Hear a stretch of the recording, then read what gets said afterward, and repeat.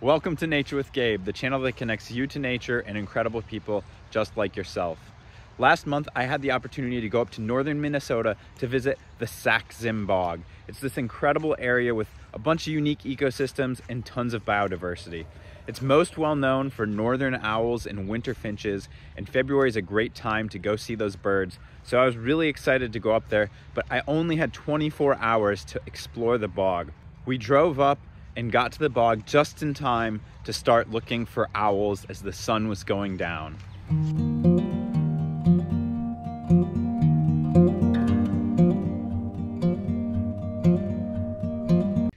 So we just tried for northern hawk owl. It's been seen in this area. We drove to look for a great gray owl, came back over here, and then someone just told us that it was up in a snag over there just for a couple seconds and flew off. So we just missed it. Extremely unlucky, but thankfully we have tomorrow to uh, continue to look for it and hope. It's the next morning. We're back at the snag, waiting to see if this hawk owl shows up. It's really beautiful and like misty out here. Um, but so far, no owl.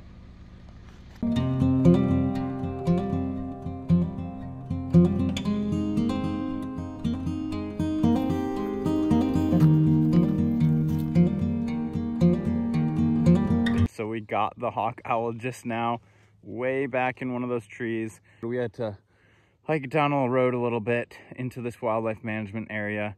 And uh, luckily someone else was here and they spotted it and they told us if you go a little further, you might be able to see it. And thankfully we were able to locate it. So really excited. Uh, it's first time ever seeing a hawk owl. Really neat bird.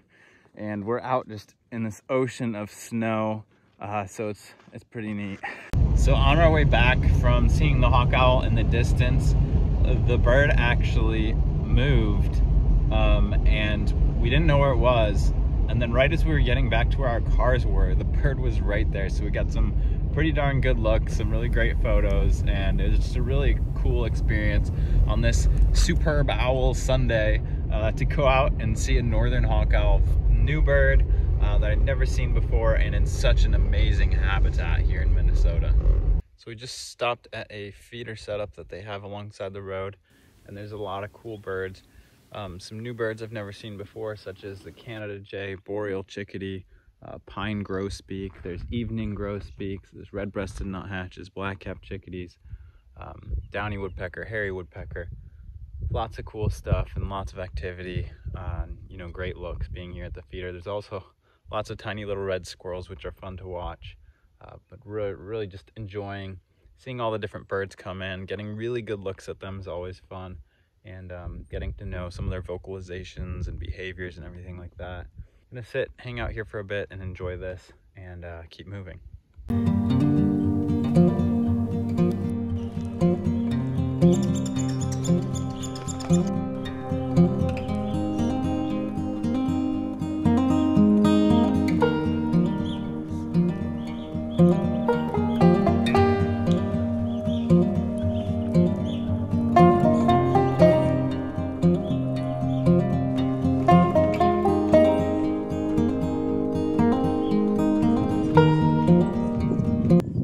Stopped at a little boardwalk trail, got out, and there's some feeders there. So we saw some more grosbeaks. We saw another Canada jay, but we found Bohemian waxwings, which are actually pretty tough to get because they kind of seem to be flying all over the place and cover a lot of distance. And uh, we're really lucky we got to three, see three of them up in the tree, uh, get pretty good looks at them. So yeah, we're gonna keep looking. We're gonna go uh, see if we can't find some more of the birds that are kind of specialty for this part of the state and this far north in the US. So we made it to the visitor center here at Sax-Zim Bog. Really hoping we spot Sparky Stensaas. He has an awesome YouTube channel, highlights the bog, helps out with the friends group here that does some amazing work. I'll link that down below, you should check it out.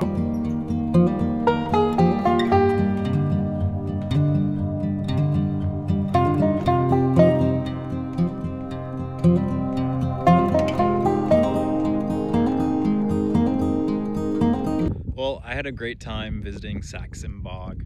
Absolutely amazing place. Really glad I got to come out here and I think I had like seven or eight new species of bird that I've never seen before. Absolutely beautiful place, beautiful habitat. Definitely recommend to check it out. I hope you enjoyed this video and always remember nature is powerful and so are you. Have a great day. Just got a bonus bird. We're flying down the highway heading south and I'm looking out the passenger window west and I saw the silhouette of a bird in a tree and it was a ruffed grouse. We were trying so hard to find a ruffed grouse. Supposedly there's a lot of them in the bog this year, but we missed them and we were going home sad. And sure enough, up in this tree over here, there's a grouse eating some buds off of the tree. Really, really cool last bird, a buzzer beater bird to see.